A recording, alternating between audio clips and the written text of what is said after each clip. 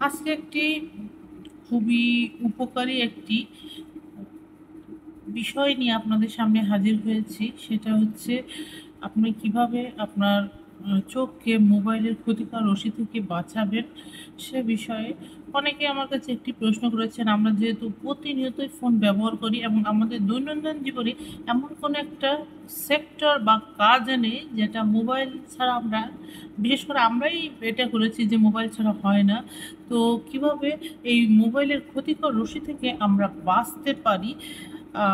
সেই নিয়ে অনেকেই প্রশ্ন করেছেন এবং জানতে চেয়েছেন যে আপনি কীভাবে এটা থেকে আমরা মুক্তি পেতে পারি। হয়তো অনেকেই জানেন, যারা জানেন না, তারা আমার থেকে জেনে নিতে পারেন যে যারা স্যামসাং ইউজার আছেন, যারা রিয়েলমি ইউজার আছেন, বিভিন্ন ফোন আছে। তো আপনারা যদি ঘাটেন বা একটু একটু আমার সাথে থাকেন, আমি আপনাদের দেখিয়ে দিতে পারি কীভাবে কোন অপশনটা আপনি যদি অন করে রাখেন আর কোন অপশনটা অফ করে রাখেন, তাহলে আপনার কীভাবে চোখটাকে রক্ষা করবেন।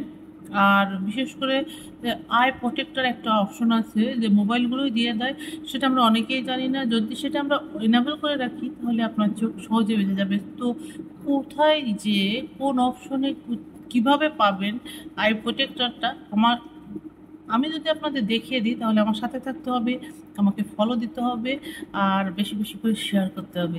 তো চলুন কথা না বাড়িয়ে আমি আপনাদের মূল ভিডিওতে নিয়ে যাই। শুরুতে আপনারা আপনাদের ফোনের সেটিংস অপশনে আসবেন। সেটিংস অপশনে আসার পর ডিসপ্লে যে অপশনটা আছে ডিসপ্লেতে ক্লিক করবেন।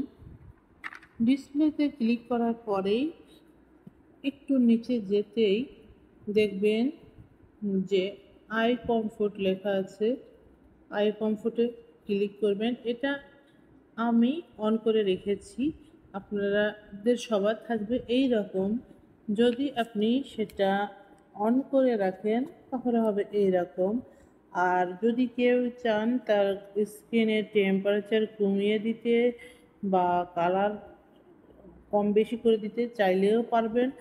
আর এটা আমি দেখাচ্ছি রিয়েলমির ক্ষেত্রে, যাদের স্যামসাং আছে, তারাও দেখতে পারবেন এরকম যে আই কমফোর্ট বা আই শেল্ড এরকম নামে। তা যদি এই কমফোর্টার বা শেল্টের পরে একটা অপশন থাকবে ইনেবল করার পরেই দেখতে পাবেন সেটা ইনহ্যান্স এই অপশনটা ক্লিক করবেন আপনারা। সেখানে যাওয়ার পরে তারা অ্যাডাপটিভে যদি অপশনে ক্লিক করে রাখেন, তখন আপনি দিন বা রাতে এটা তখন আর আলাদা করে দেওয়া লাগবে না। বা এরকম রিয়েলমির মতো শিডিউল অপশন এই যে রিয়েলমিতে দেখাচ্ছে যে শিডিউল অপশন এরকমও দেখাবে না। আপনি আপনার ইচ্ছা মতোই এটা করতে পারবেন। তো ভালো থাকবেন সবাই।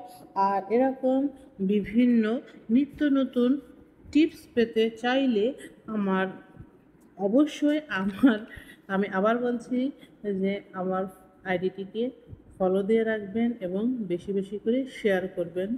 ধন্যবাদ।